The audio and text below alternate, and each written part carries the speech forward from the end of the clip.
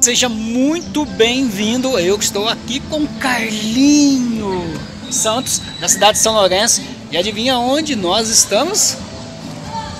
Vamos chamar aqui, Carlinho? É o bairro da estação, né? E aqui está o trem das águas, né?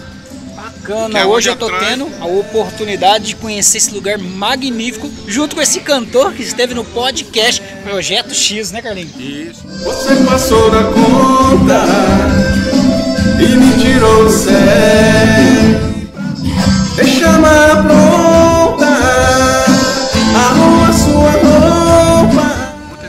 Nossa, ô, Carlinho, eu não esperava é, a presença de tantas pessoas comentando, falando que gostou, né, Carlinho? Foi muito bom, né? Foi chique, cara. Foi show de bola mesmo.